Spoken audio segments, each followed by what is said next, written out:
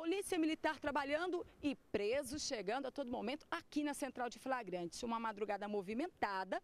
Você já ouviu falar em feeling? É, quando a pessoa olha e percebe que tem algo errado, o feeling da Polícia Militar está bem aguçado, principalmente na área do 7 Batalhão.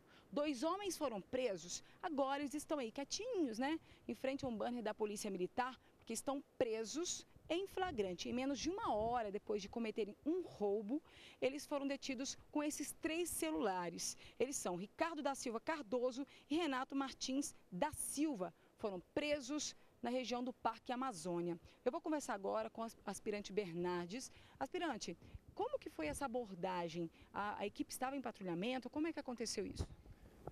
A equipe estava em patrulhamento pela, pela área ali do, do Parque Amazonas avistou os dois indivíduos nessa moto Falcon em atitude suspeita. É, procedeu a abordagem, a princípio eles evadiram, mas a equipe conseguiu realizar a abordagem e encontraram na posse dos três, na posse dos dois, três celulares e um simulacro de, de arma de fogo, uma réplica de uma pistola. E durante a entrevista eles confessaram que os celulares eram produtos de roubo e após ser localizadas as vítimas, eles foram conduzidos aqui para foram conduzidos para a central de flagrante, onde foi realizado o procedimento de flagrante pelo crime de roubo de celulares. As vítimas fizeram reconhecimento dos dois, inclusive reconheceram a moto que foi utilizada no, no crime. É muito importante falar sobre as vítimas, porque elas muitas vezes não querem vir até a delegacia, têm medo. É resguardado essas vítimas quando elas vêm aqui fazer o reconhecimento? O, totalmente resguardadas e é bastante importante frisar que eles só foram presos em flagrante, só foi possível ser realizado o flagrante dos dois porque a vítima fez o registro do, do roubo.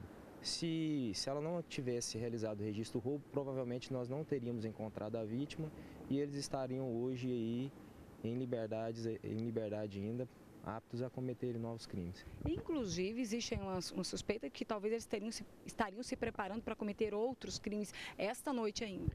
Sim, eles estavam na imediação, nas imediações de um supermercado, nas proximidades onde eles foram abordados, ele ia sondando já para provavelmente praticar um novo delito.